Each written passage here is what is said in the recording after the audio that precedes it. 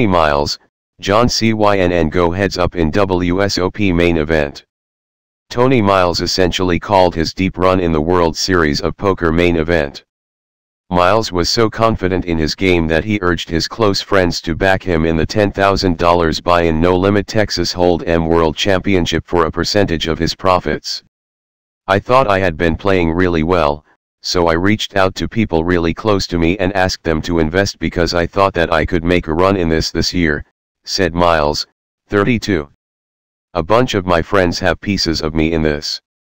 Miles started Saturday night at the Rio Convention Center with more than 60% of the chips in the main event before John Cynn took the lead less than an hour after the cards went in the air at 5.30 p.m.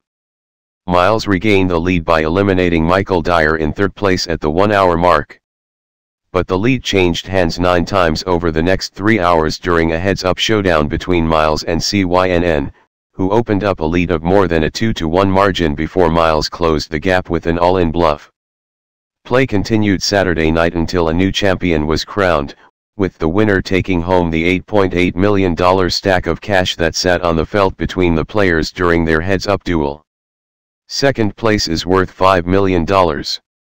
Whether Miles finishes first or second, the faith of his backers will be rewarded only a few years after a substance abuse problem made him a risky investment. When I was coming back from opiate addiction, very few people would take a chance on me. They knew I was talented, but it was hard, Miles said.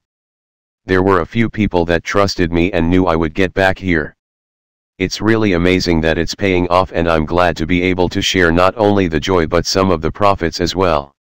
Miles, born in Ogden, Utah, and living in Jacksonville, Florida, said he has been clean for two years. He said he also hopes his run can lift the spirits of his father.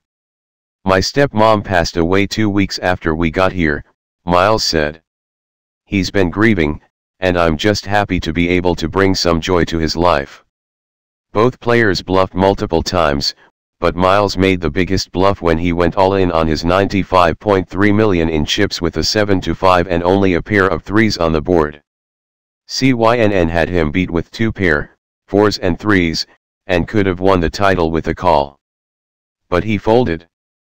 Cynn was holding onto a lead of more than 69 million in chips 4 hours into the heads-up duel at 10.45 p.m. as Miles wouldn't go away.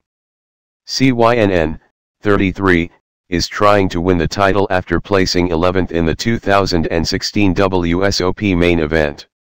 The other year, I was short stacked almost the whole time and was able to get enough spots to squeak by, said Cynn, from Evanston, Illinois. This year's been different. Out of the 10 days we played, the 7 luckiest days of my life. I just ran really good and have been fortunate enough to have a stack most of the way. Miles knocked out Dyer, who entered Friday with a huge lead, when Dyer went all in for 22.2 million in chips with ace 10 and Miles called with ace jack. Miles hit a pair of jacks on the turn and won the hand when Dyer failed to hit a straight on the river. Dyer, 32, is mostly an online player who has lived in Las Vegas for six years after moving from his native Houston.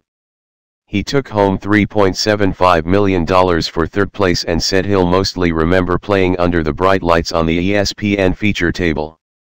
It kind of felt like the Truman Show there for a minute, he said. But I figure it will get back to normal. People don't remember third place. Asked to pick a winner, Dyer went with Miles. Miles took all my chips, he said, laughing.